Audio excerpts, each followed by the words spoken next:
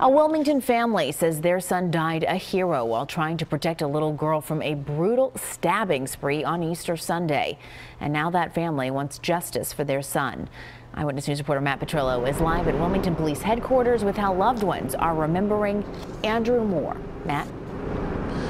Well, the family of 24 year old Andrew Moore says he was a caring guy working to build his career as a musician.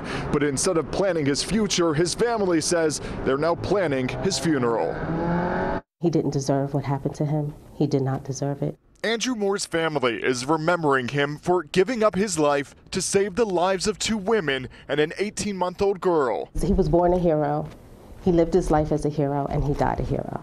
Police say the stabbing attack happened Easter Sunday when this man, Cheyenne Calhoun, stormed inside an apartment here on North Washington Street in Wilmington, wielding a nine inch knife. Moore tried stopping Calhoun and was stabbed several times before the attacker then went after the little girl. Family says she was stabbed in the head. Her mom and grandmother also attacked. But today, those three are all recovering.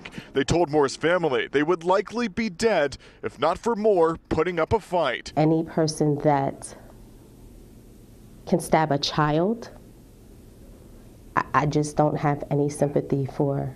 Today, a Bible lays on the front porch of the apartment, a cross hanging in a window. Friends of Moore now plan to remember him at a vigil Sunday at 5 o'clock at Brandywine Mills Park in Wilmington. God willing, he's in a better place now than where he came from. The only thing you prepare for in life is death, and that's what happened to him.